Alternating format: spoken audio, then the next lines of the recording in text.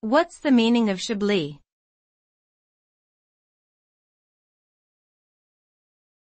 Chablis.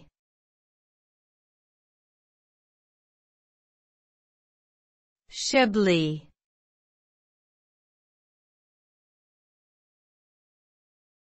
Chablis.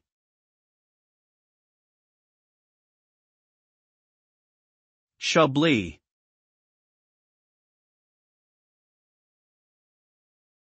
Chablis is a white wine made from Chardonnay grapes in the Chablis region of France. It is known for its mineral and acidic taste, which is the result of the unique soil composition in the region.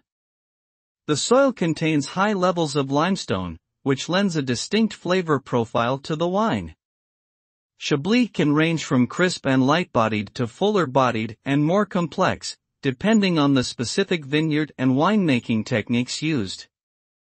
Overall, Chablis is a refreshing and versatile wine that pairs well with a variety of foods, particularly seafood and salads.